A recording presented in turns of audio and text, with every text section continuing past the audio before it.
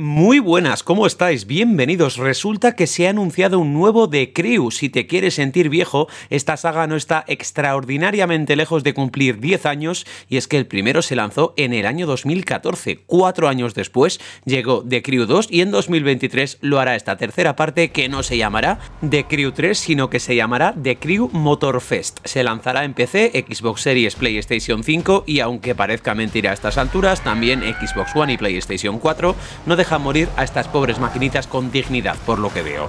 El cambio más importante que propone esta secuela es el escenario. Tras recorrer Estados Unidos en The Crew, The Crew 2, en este The Crew Motorfest toca recorrer Estados Unidos. Pero no este Estados Unidos, sino este Estados Unidos, más específicamente esta isla Oahu donde se encuentra Honolulu. El mapa de las entregas anteriores contaba con 5.000 kilómetros cuadrados abiertos, mientras que esta isla tan solo son 1.545, isla que además no será una recreación exacta de la real, sino que se inspirará en ella. La forma será la misma, pero dentro se van a tomar todas las licencias que consideren oportunas para hacerla lo más variada posible según han dicho, evitando así grandes partes del escenario generadas mediante algoritmos como ocurría con buena parte del mapa de los anteriores de Crew y así casi todo estará meticulosamente creado a mano. La isla, por cierto, de este a oeste son 70 kilómetros y de norte a sur son más de 45, así que pequeña en absoluto va a ser mientras respeten ese tamaño. Supongo que más de uno recuerda que esta es la misma isla donde se desarrollaba el glorioso Test Drive Unlimited y lo que mucha gente no sabe es que los creadores de The Crew Ivory Tower fueron fundados por miembros de Eden Studios creadores de Test Drive Unlimited, de ahí que especialmente el primer The Crew fuera considerada como la secuela espiritual del gran TDU. Irónicamente, por cierto, en 2023 también debería lanzarse Test Drive Unlimited Solar Crown, la tercera parte de la saga que lleva desde 2011 sin recibir un nuevo juego. Será interesante ver el cara a cara entre estos dos juegos. The Crew Motorfest, al igual que The Crew 2, incluirá barcos y aviones, pero los protagonistas, quieran o no, van a seguir siendo los coches y de hecho ya han presentado los cuatro primeros que estarán en el juego dentro de los cientos de coches que supuestamente va a haber. Y son el Lamborghini Sian, Ford Bronco, Lamborghini Urus y Selby Cobra. Si ya la segunda parte no compartía casi nada de forma de avanzar con el primer de Crew, este parece que busca alejarse aún más.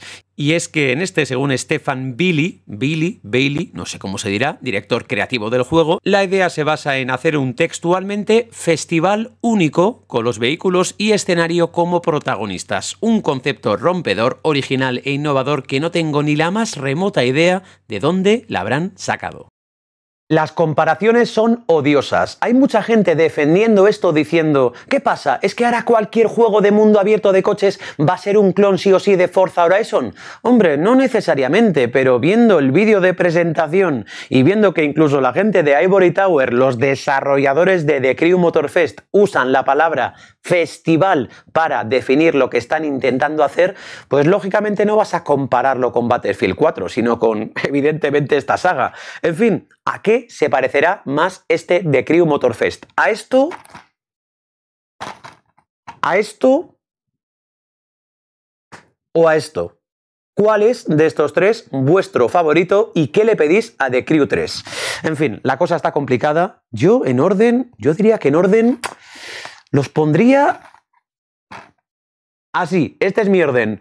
1, 2 y 3. Sé que a mucha gente no le gustó nada de Crew, a mí sinceramente me encantó, pero no por los coches, ni por la historia, ni por el manejo, que no estaba mal el manejo como antes, sino por el tema del mapa, que me parecía completamente fascinante.